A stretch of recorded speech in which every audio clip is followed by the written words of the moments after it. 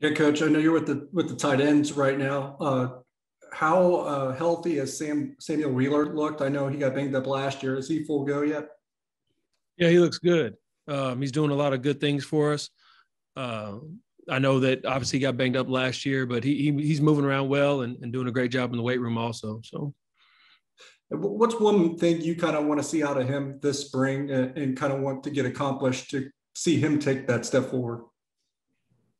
Just to make plays consistently. Uh, he he obviously uh, transitioning from being a quarterback in his career, and uh, he's fitting in well. He's put on some weight. He's dropped some uh, dropped some fat, gained some muscle, and he's continually doing that and changing his body. But just consistently catching the football and making plays when they come his way is probably the biggest thing uh, that we're looking for uh, as far as his performance. I'm going to try to get his name right. Daniel Imatorbhebhe, you're a new transfer you tight go. end. Yeah. Uh, what do you expect him to provide for you guys this year? I know he's kind of had an injury history as well, but he seems to be healthy at this point. Uh, first, I'd say just in general depth, but just playmaking ability.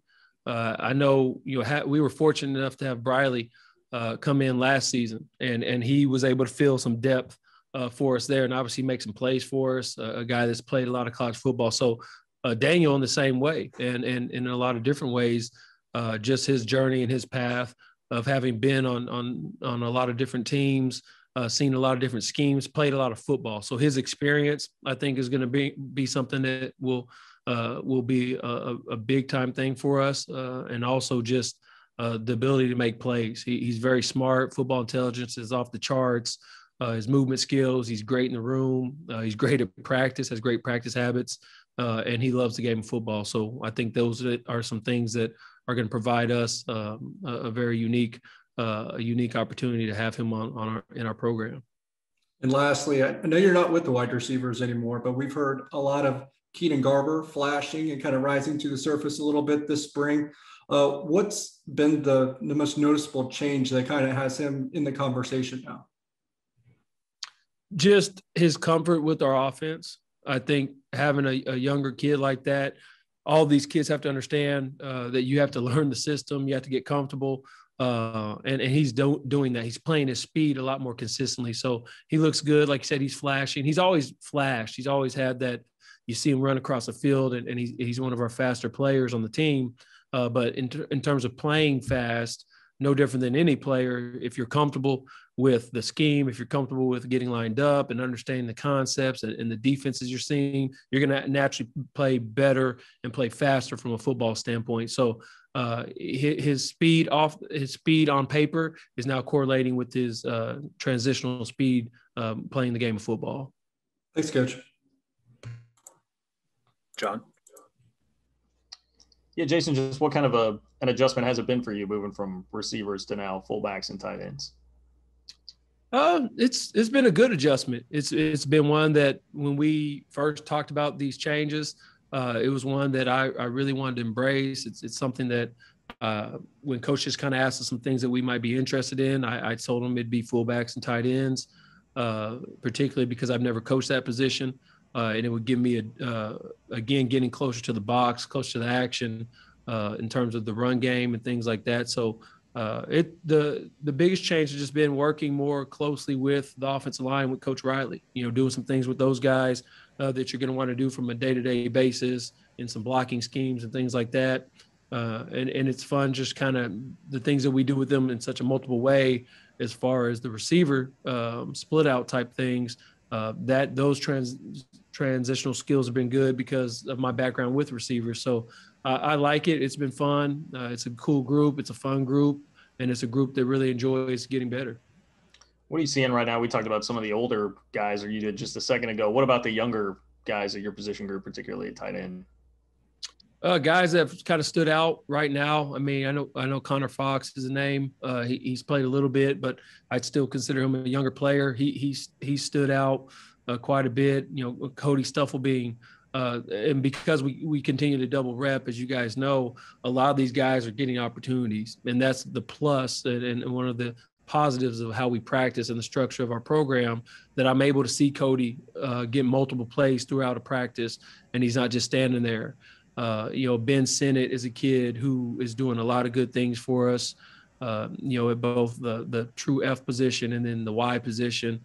I like what um, I like what Jax Dineen is still doing for us. Uh, Christian Moore is doing some things really well and is a physical kid. So the younger kids are, are really coming into their own. Uh, and and you know we obviously have some more practicing to do and uh, a lot more time until we get to that first kickoff. But right now, as I as it stands, I think the group looks really good, and uh, you know it's a fun group to coach maybe this isn't a fair comparison to make, but just because they've both been transfer tight ends for you guys, but how how different or similar is is Imatorbhebhe from what you guys had and Briley Moore and what he brought to the table there? Uh yeah, I, I, I would agree. Kind of an unfair question, but you know, and because I didn't work directly with Briley, I didn't sit in the room with him, but I think some of the similarities are that they both have played a lot of football. Uh, obviously, both completely different as far as their their paths to to, to leading to K State, but I think that they're experienced players, are smart players. Uh, that's the probably the the thing that I would say is a similarity, but different body types, different different athletic movement skills in, in that way. Um, and so I, am really really excited to see Daniel uh, continue to progress in our system. Like I said, he's very smart, has has great football intelligence, and his movement skills are really good. Uh, he's got good, got good range uh, and things like that, and he's a natural ball catcher. So, uh, and and he's he like I said, he loves the game. He really comes in. He, he does a good job taking care of his body, and you can tell that he goes about it in a, in a very professional manner as far as what he does and, and, and what he wants out of the game of football. Appreciate it. Thanks, Jason. Yep, no problem. Last one here, Fitz. Coach, take us back through uh, exactly how the position change came about your coaching position change? Well, was, if I can remember correctly, the timeline of it, it, it kind of happened right before uh, Christmas break. I, th- I, think you know we were we had some time to kind of uh, over Christmas break, kind of talk about what what the changes w- would mean, uh, how we felt about them, and things like that. And I got to spend time with my family and and really just get away from ball for a while um, with what coach had presented to us prior to going on break and um, and really it, it kind of stemmed from a lot of things just as far as just uh, personal growth in the profession.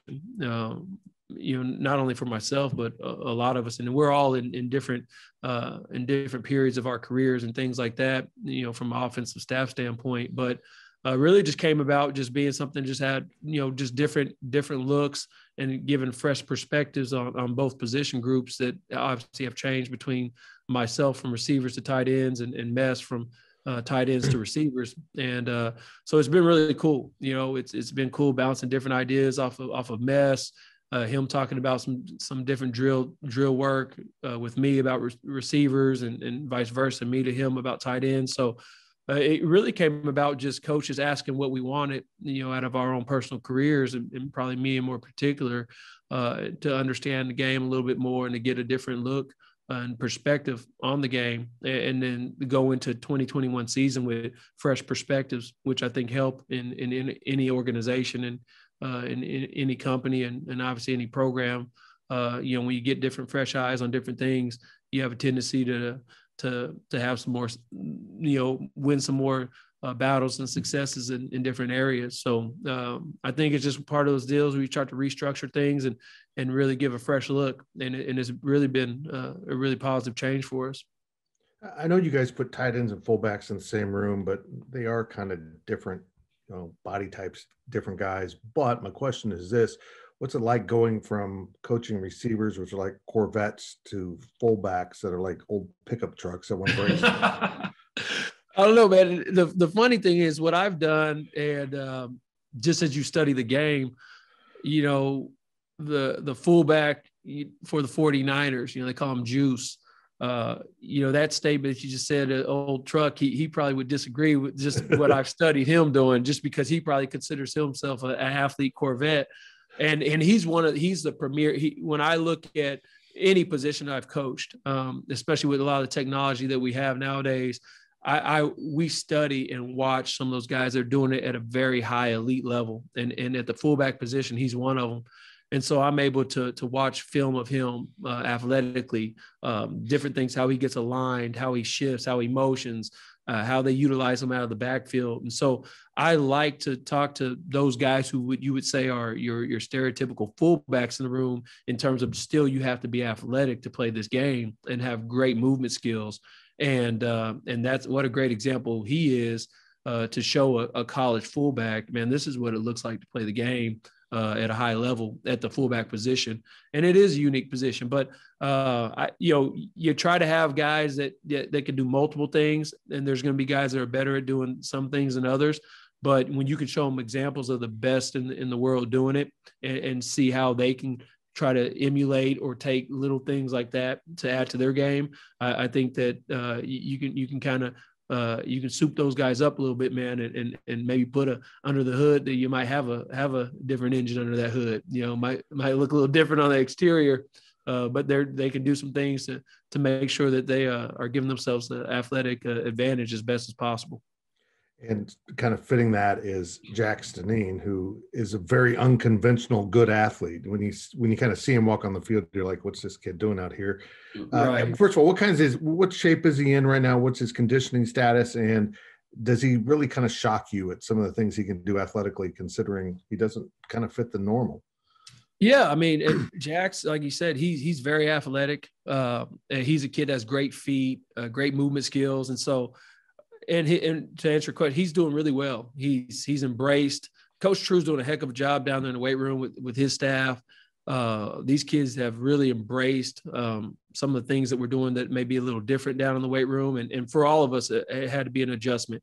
We all had to embrace uh, some different things and embrace change, whether it be the stretch or or different things that uh, we're doing in, in, pre-practice and, and before we even get to to you know lining up and doing things as far as uh, as far as what the stretch looks like and the commands and all that. So uh, at the end of the day, uh, Jax is really taking to nutrition. Scott Troush is doing a heck of a job in nutrition with his staff and his student assistants. And so uh, Jax is one kid that we want to make sure he continues to take care of his body, and he's he's embraced that, and he's and he's challenged himself to do that.